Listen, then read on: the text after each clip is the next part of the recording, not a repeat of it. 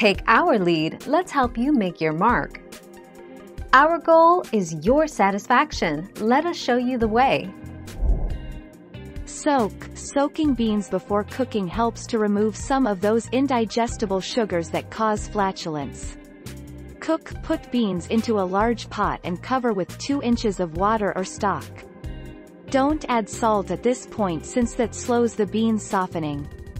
Slowly bring to a boil, skimming off any foam on the surface.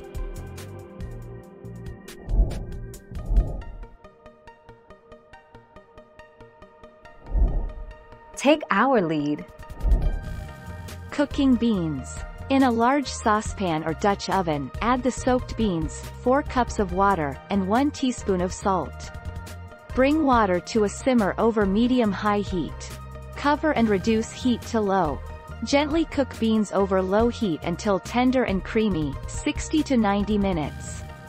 Drain, then serve the beans warm.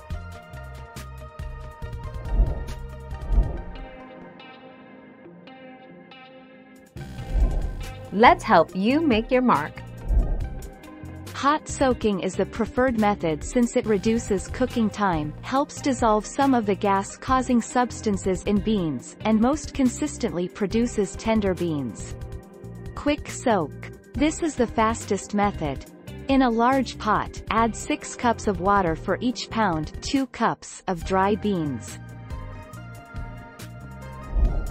Thank you for watching. Please subscribe and hit the bell notification.